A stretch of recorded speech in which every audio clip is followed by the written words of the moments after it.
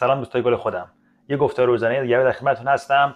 توی یه روز خیلی هیجانی توی market روزی که من دیشب خودم بیدار بودم و یه سری trade short انجام دادم روی market رو حساب اون حرفایی که با هم زدیم. اگر خاطر شریفتون باشه قبل دیروز توی گفتار روزانه خدمتتون صحبت کردم که آرایش شاخص تکنولوژی و آرایش market یه جوری هستش که امکان داره یک افت دیگه داشته باشه. دیروز توی همین برنامه با هم صحبت کردیم. کلا ابتدای ماه می این اختارها رو بهتون داده بودیم که ماه می باید احتیاط بیشتر بکنیم به خاطر حالا همون بحث کلی که تو ماه می معمولا میفروشن. راجع به دلایل ظاهری دلایل واقعی صحبت کردیم. چیزی که ظاهر همه صحبت می‌کنن میگن جنت یلن یه چیزی گفته. ولی شما که عاقل ترید باید بدونید این قضیه رو که اونایی که فاند منیجرها اونایی که مؤسسات مالی بزرگ می‌دونن که Janet Yellen یا مدیر اداره خزانه داری کلا با بحث تورم چجوری برخورد می‌کنن؟ سالهای سال آبدیده این قضیه هستن. دلیل ظاهری این قضیه اینه که آره الان یه سری نگران نگران بحث تورم هستن و تورم باعث میشه که مثلا حالا قیمت bond bond yield بیشتر بشه bond yield که بیشتر بشه پول از سهامای growth میاد به سمت bond حرکت می‌کنه. همینجا خدمتتون بگم یه سری ویدیو داریم براتون پر می‌کنیم. از ابتدا می‌خوایم bond رو توضیح بدیم bond yield رو توضیح بدیم و بعد بگیم که حالا bond coupon رو توضیح بدیم ارتباطش با بازار equity که بازار سهام هست رو توضیح بدیم ارتباطش با نرخ interest رو توضیح بدیم. بچه مدرن روش کار می‌کنن و می‌خوان خیلی دقیق و technical این قضیه رو برای شما با detail با فرمول در بیارن. منتظر اون ویدیو باشید میاد بیرون تا چند تا چند وقت دیگه از درس به درس داریم جلو میریم مثل ویدیوهای کریپتومون که بازم درس به درس انشالله نه مثل کسایی که روخونی می‌کنن از روی کریپتو مثلا میگن نمی‌دونم به بازار غیر متمرکز یعنی چی بازار غیر متمرکز؟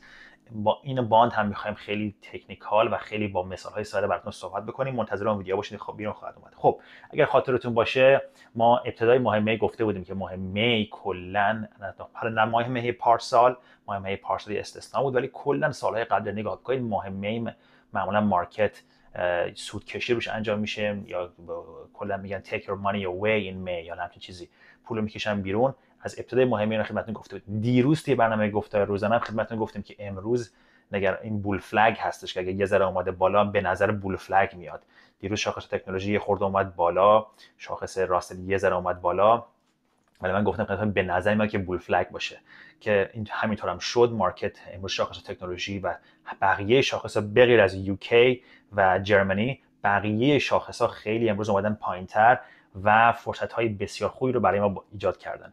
جدا از در حقیقت احساساتی رو که راجبش باتون صحبت کردیم احساسات دوستان در گروه های مختلف فارسی زبان غیر فارسی زبان این بازم قابل پیش بینی است. یعنی ابراز احساسات دوستان کاملا قابل پیش بینی هستش توی ماه مارش راجبش اگه ویدیوی پیامبران سقوط رو نگاه بکنید دقیقا راجع به این اتفاقی که الان افتاده صحبت کرده بودیم که اگر مارکت باز بیفته باز اونایی که پول نقد نگه نداشتن باز دادشون در میاد باز دم از سقوط می‌زنن. اما چیزی که می‌خوام بهتون بگم اینه که مثل گذشته مثل اتفاقی که در گذشته افتاد تو ماه مارچ افتاد این نیز بگذرد. یعنی چی؟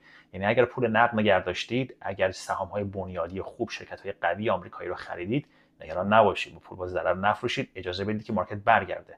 حالا دوست میگه که بابا تو ماه مارچ همین می‌گفتی. خب ماه مارچ همین می‌گفتیم برگشت بالا. خیلی هاشون برگشت بالا با سود فروختیم. بارها بارها سود کردیم. اما یک قسمتی از انتظارات دوستان به خاطر اینه که به مدت 5 6 ماه از انتخابات آمریکا پشت سر هم سودای هر ماه 3 درصد و 4 درصد می‌کردن.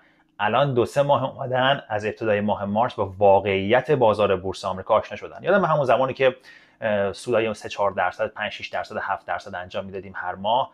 بچهای دیگه حتی بعضا سودای بیشتری می‌کردن. همه می‌گفتن تو چرا میگی ماهی 30 درصد؟ سالی 30 درصد سالی 20 درصد. بابا ما تو همین ماه ژانویه و فوریه رفتیم فلان فلان گروه سیگنالی دو تا سیگنال بهمون داده مثلا 15 درصد تا الان سود کردیم. یعنی ما تو ده ماه دیگه نمی‌تونیم 5 درصد سود در بیاریم. دقیقا نکتهش همین دوستان. دوستان خیلیشون تجربه ندارن نمی‌دونن که کشش بازار بورس آمریکا چقدره. همینی که می‌خوام بهتون بگم که اینجور افت ها هست اینجور چاله ها هستش که سرعت سودبری های نجومی رو به نوعی از نظر من 6 درصد در ماه از نظر من نجومیه. 5 درصد در ماه نجومیه. همین افت ها و همین چاله ها هستش که این سرعت مثل یک سرعتگیر می‌گیره. حالا یه سری که پول نقد نگه نمیدارن trade های ریسکی می‌کنن option های ریسکی future های ریسکی سایز های بزرگ می‌خرن. توی این دست اندازا با کله می‌خورن زمین و حسابی پولشون از بین میره و اون سودایی که 5 6 درصدی که توی ماه March اکتبر جنیوری فبری کرده بودن یا حالا قبلش همشون از دست میده که هیچی پایینتر هم وای میسن یه سری هم نه با روش عاقلانه جلو میرن اینجور چیزا رو می‌بینن می‌دونن که این افت انجام میشه و با یه مقداری پول نقد نگه داشتن خرید تدریجی انجام میدن مثل همون کاری که ما توی ماه مارچ کردیم مثل همون کاری که توی ماه اکتبر کردیم. از افت و از تهدید به عنوان فرصت استفاده می‌کنن. در نهایت شاید مثلا توی این ماهایی که افت انجام میشه سودای زیادی نبرن خیلی ولی به هر حال مستمر هر ماه یه مقداری سود می‌برن تا اینکه مثلا در انتهای سال سی درصد می‌تونن سود سالیانه داشته باشن. در حقیقت نکتهش همینه. امروز ما موفق شدیم تو copy trading با علم به این قضیه. یه مقدار تقریبا خوبی به نسبت سودهای روزانه ای ما فکر کنم 80 خورده دلار تو copy trading سود کردیم. و من خودم سود کردم و بچه‌ای که trade های من رو کپی می‌کردن این 80 خورده دلار رو با شورت کردن شاخص تکنولوژی موفق شدیم به دست بیاریم که حالا شاید به نوعی یه لبخندی به لب بچه‌هایی که حالا یه سری position قرمز دارن آورده باشه. یه سری بحث هایی هستش راجع به که مثلا دوستان بچه های VIP می‌پرسن از من یا بچه های club می‌پرسن از من میگن آقا Wayfair ما رسیده بودیم به 3 درصد. چرا نذاشتی رو 3 درصد بفروشیم؟ یا مثلا DocuSign ما رسیده بودیم روی مثلا پنج option مون داشت منقضی می‌شد. اون موقع که 131 دلار بود داشت منقضی می‌شد. چرا نذاشتی 100 دلار پول بدیم ببندیم؟ طمع کردی؟ نه دوستان طمع نیست. ببینید اولا که همینجا بهتون میگم به Wayfair به 5 درصد سود به راحتی همین نظر نظر من نظر شخصی من 5 درصد سود به راحتی همین چند روز دیگه خواهد رسید. نگران نباشین. اما Docu هم همینطور. Docu در فکر کنم یکی دو ماه حالا دو سه ماه آینده به اون قیمت هدف ما خواهد رسید و سود برای دو طرفه انجام خواهیم داد. ولی نکتهش اینه دوستان. نکتهش اینه که باید یک روش رو انتخاب کرد و تحت هر شرایطی اون یک روش رو اعمال کرد. حالا میشه بعضی موقعی انعطاف پذیرهای کوچکی انجام داد. ولی وقتی من میگم تفسیر واقع بعد از وقوع و اینکه نمیشه روش رو بر اساس تفسیر واقع بعد از وقوع عوض کرد دقیقا نکتم همینه. سناریوهای مختلفی توی بازار بورس وجود داره. با چندین بار شده که مثلا ما یه چیزی رو خریدیم option هایی که مخصوصا قیمت strike price شون نزدیک هستش به قیمت فعلی سهام. مثلا سهام مثلا قیمت strike price 130 دلاره یا 230 دلاره. option هم قیمت سهام هم ببخشید strike price 230 دلاره. قیمت option هم مثلا یه چیزی حدود 229 دلاره. روش چی میگه؟ روش بدون ملاحظه و در نظر گرفتن اون option اون وضعیت market داره هر چی که هستش. میگه آقا اگر نزدیک های strike price ت بودی روشی که حالا من انتخاب کردم نزدیک های strike price ت بودی option داره منقضی میشه. بذار option منقضی بشه. دیگه بنا داره پول بده option ت ببند. چرا که احتمال داره سهامت وقتی که بعد از اینکه حالا اگه سهام اگه منقضی بشه که همه پول بره تو جیبت.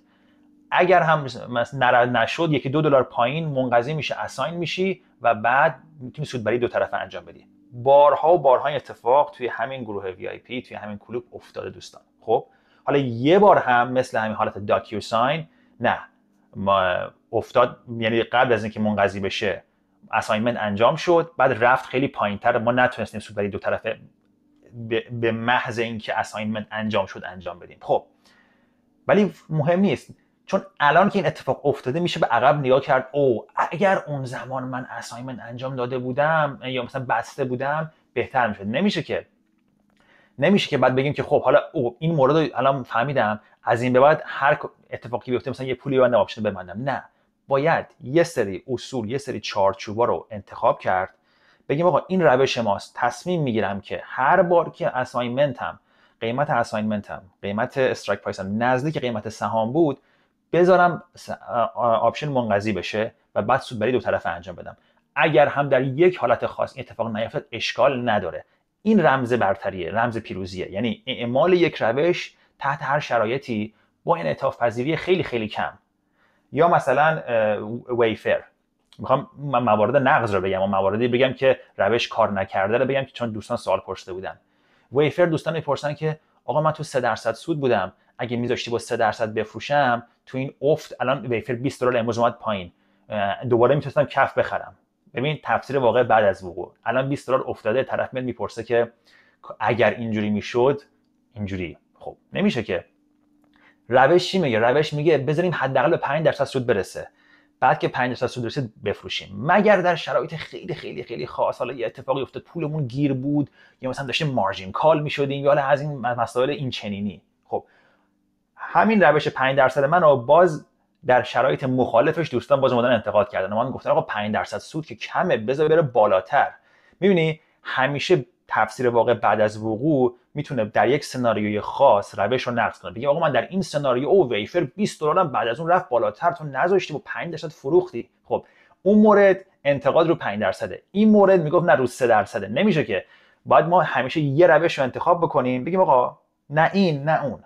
من علاقه مندم من I'll stick to this 5% من به این 5% معتقد میمونم. تحت هر شرایطی. رفت بالاتر. اشکال نداره. 5 درصد سودمو بردم رفت پایینتر. فدای سر شما و خانواده شما و اون تریدر خب مهم نیستش که.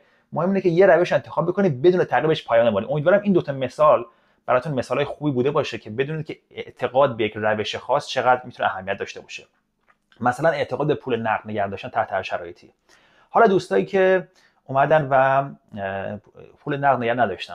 بچه های غیر VIP می‌تونن می‌دونن VIP همشون پول نقد نگه داشتن و الان منتظر کف market هستن تا همون روش های قبلی خودمون دوباره اعمال کنیم دوباره سودبری بکنیم. دوستایی که این کارو نگه نداشتن یک توصیه که می‌تونم بهشون بکنم این هستش که می‌تونن از future CFD ها استفاده بکنن اجازه بدن که حالا حتی همین copy trading کاری که ما داریم انجام میدیم اجازه بدن که شاخه بالا رونده market تشکیل بشه که تشکیل میشه در چند روز دیگه. حالا دقیقا من نمی‌دونم چند روز دیگه است. اجازه بده که شاخه بالا رونده شاخص تکنولوژی و و مخصوصا داو جونز شکل بگیره. یعنی یه تحلیل خوب انجام بدید. یه خود بازار اجازه بدید نوسانش خوب کاهش پیدا کنه. شاخص VIX رو نگاه کنید ببینید شاخص VIX کوچیک میشه نمیشه. دامنه حرکاتش بعد اون موقع می‌تونید از future CFD استفاده بکنید. future CFD و با احتیاط و position های خیلی خیلی کوچیک. position های خیلی خیلی کمترین position ممکن. کمترین سایز ممکن. استفاده کنید و رو شاخه بالا روند سود بری کنید تا اینکه این سهامایی که اگر بنیادی خریدید چرت پرت نه اگر بنیادی خریدید تا اینکه این سهامی که دارید بعد از یه ماه دو ماه سه ماه اصلا چهار ماه اشکال نداره. بعد از چهار ماه برسه به سود. قرار نیست مثل یکی از دوستان که پیغام گذاشته بود چند سال باید منتظر بمونید نه آقا به سال اینا نمی‌کشه. این سهامایی که اگر سهامای خوبی خریدید که مثلا توی ژانویه فوریه مثلا فرض کنید مثلا مثل شرکت چه مثل شرکت اسنوفلک رو خریدید اگر مثلا مثل شرکت تسلا رو خریدید به اجازه بدید که برگرده بالا و recovery انجام بشه. شاید 4 5 ماه شاید 5 6 ماه طول بکشه ولی اشکال نداره. یه خورده کنار میشینید یه خورده سرعتتون متوقف میشه. نمی‌تونید همیشه اون سرعت های 10 درصد 15 درصد سود ماهانه رو کسب کنید. این همون بحث ظرفیت market هست. من این ویدیو رو با اجازه شما public می‌کنم چون خیلی دوستان بازم دوره استرس و اضطراب رفته بالا توی market. می‌خوام همه نگاه بکنن بتونن استفاده بکنن. همین تسلایی که یه زمان به ما انتقاد می‌شد که آقا چرا تسلا نمی‌خری و فلان. تازه کی؟ بعد از اینکه تسلا رفته بود بالا انتقاد من می‌کردن چرا تسلا نمی‌خری؟ من می‌گفتم صبر کنید یه ذره یه ذره کم کم. توی افت و خیزا تسلا نوساناتش خیلی زیاده. حالا همین تسلا اومده الان همه دارن بهش فوش لعنت میفرستن. ببینید reaction بچه‌ها رو می‌بینید همه reaction نشون میدن. تفسیر وقایع بعد از وقوع می‌کنن. این مفاهیم رو توی ذهنتون داشته باشید نگران نباشید. market برخواهد گشت. از این نقطه که از نقطه all-time high که آخرین باری که بود شاخص تکنولوژی بازم بالاتر میره. شاید دو ماه دیگه شاید سه ماه دیگه شاید یک ماه دیگه معلوم نیست. ولی به روش ها و اصول پایبند و معتقد بمونید. براتون آرزوی موفقیت می‌کنم. توی ویدیو بعدی شما رو خواهم دید.